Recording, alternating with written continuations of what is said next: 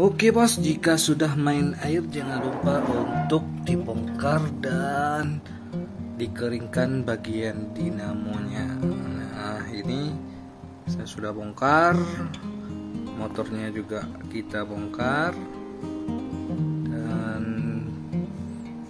ini semua sudah saya bongkar.